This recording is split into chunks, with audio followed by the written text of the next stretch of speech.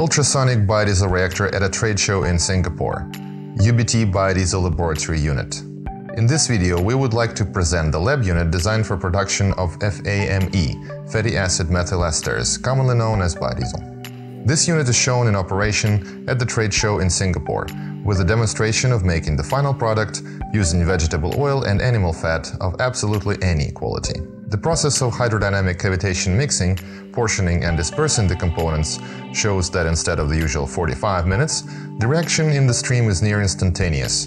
The process of separation of glycerin and FAME occurs immediately after.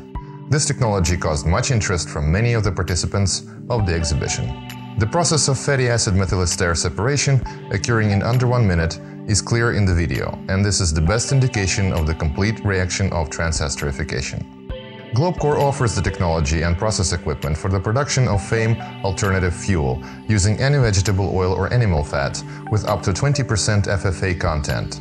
For more detail, visit our website.